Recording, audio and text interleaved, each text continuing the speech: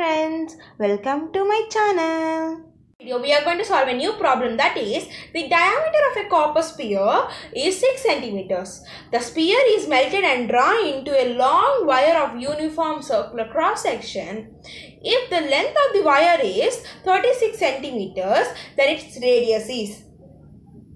So here they have uh, there is a sphere copper sphere which is melted into a cross section uh, uh, circular cross section which is nothing but the circular cylinder. So they have given this uh, radius of the sphere diameter of the sphere and they have given the length of the cylinder. So we have to find the radius of the cylinder. So let us solve it first let us write the given values given that diameter is equals to 6 centimeters. If diameter is 6 centimeters, from that we can find the radius that is radius is equals to d by 2 that is nothing but 6 by 2 we get 3. So radius we know that that is 3 centimeters. Then the length of the pipe length that is nothing but height.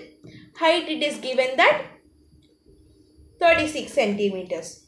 So what we have to do is they have given two two solid shapes. That is sphere is melted into a cylinder. So we have to equate the volume of the sphere with volume of cylinder.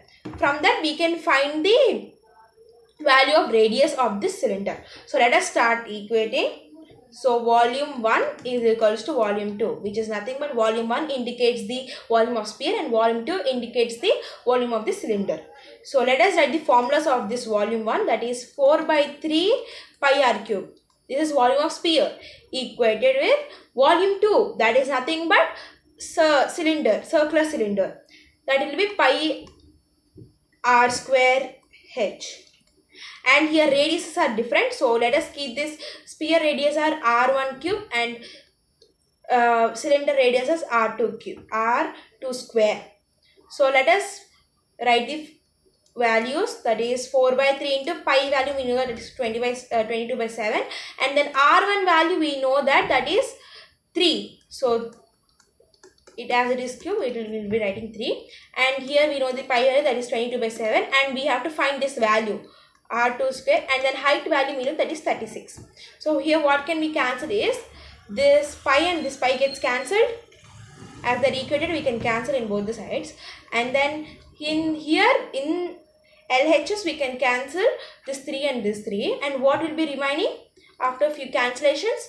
It will be 4 into 3 into 3 equal to R2 square into 36. This is what is remain and now we are going to cancel this also by 4 and 36 gets cancelled with 9 and this here 3 into 3 9 and r square here also 9 so this 9 and this 9 gets cancelled.